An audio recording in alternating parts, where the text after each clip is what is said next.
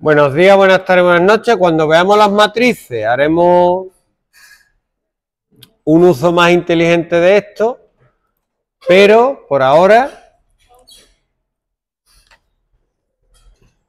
bucles anidados.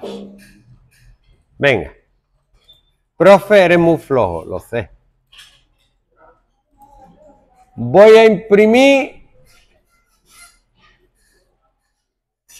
todos los números de la tabla de multiplicar. A ver cómo lo hago.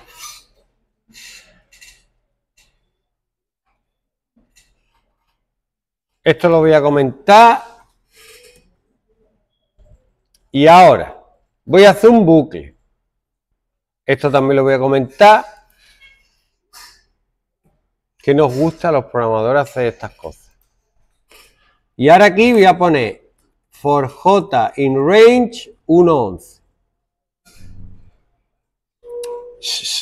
Ojo, cuidado, ¿eh? Mira, mira, mira, lo que voy a poner. Print str y por j. Y ahora, ¿cómo era esto? En igual a guion. Y ahora, cuidado. No aquí, porque si lo pongo aquí, fijaos lo que pasa. Si yo pongo ahí el print para que salte la línea, cada vez que imprima un número va a, sacar, va a saltar la va a saltar la línea. Y yo no quiero eso. ¿Ve? Me salen los números, eso no lo quiero yo.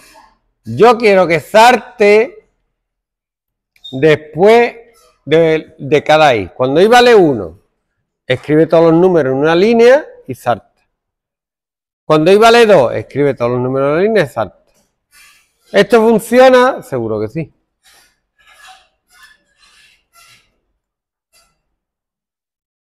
¿Eh? Ahí tiene las tablas. La del 1, la del 2, la del 3, la del 4, la del 5, la del 6, la del 10. Bucle anidado. Y ya cuando veamos las matrices y los arrays, los tipos de datos, los arrays, yo creo que el próximo día ya, ya podemos. Pues ya veréis cómo suma matrices, resta, multiplicar, etc. Voy a borrar esto que no os moleste, ¿vale?